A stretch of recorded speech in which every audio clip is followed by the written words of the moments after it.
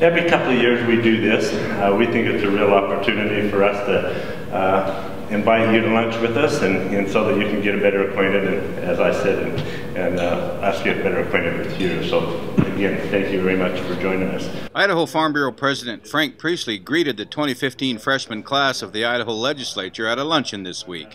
The semi-annual event helps new legislators meet the staff that represents Idaho's largest general farm organization during lawmaking sessions each winter in Boise. Representative John McCrostie of District 16 came to learn. And you come from an urban district. Mm-hmm. What do you know about ag? You know, that's one of the things that I'm uh, excited to be here for, is to learn more about uh, the ag industry in the state.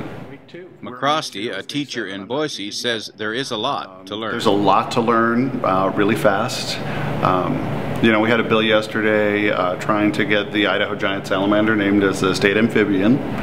Um, something that you would think would be an easy piece of legislation, and then it turns out that it's not so easy.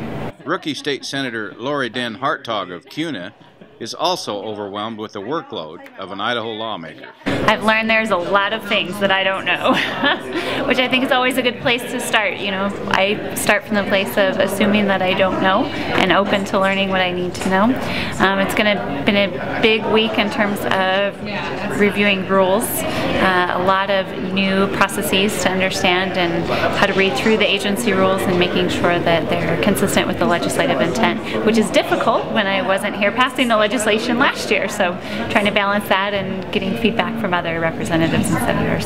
The 2015 rookie class of lawmakers will be pushed along faster than in past sessions because legislative leadership is shooting for a quick and short session this year.